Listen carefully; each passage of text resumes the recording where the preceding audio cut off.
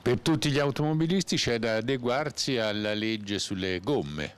Sì, praticamente dal 15 di novembre su tutto il, il territorio nazionale in generale parte praticamente la normativa che prevede che vengano installati eh, pneumatici termici o comunque essere, eh, avere in macchina un allestimento idoneo per la trazione su neve in pratica. Insomma, o, le, o avere e portarsi sempre dietro le catene oppure mettere le scarpe da neve. Sì, i pneumatici termici sull'autovettura in pratica montati. Ecco, questo cosa vuol dire? Eh, vuol dire che praticamente eh, vi sono eh, pneumatici con marcatura M più S che quindi hanno caratteristiche di trazione su neve.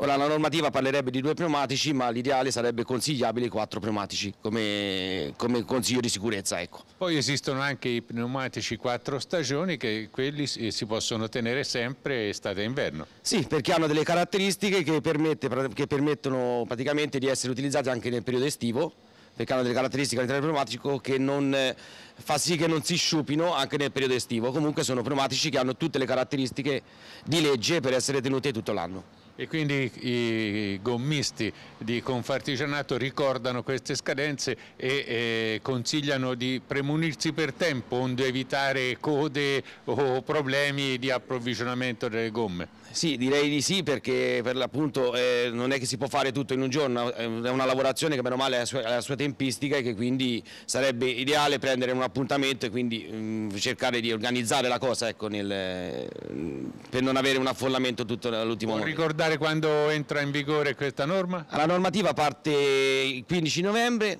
praticamente dal 15 novembre fino alla scadenza del 15 di marzo.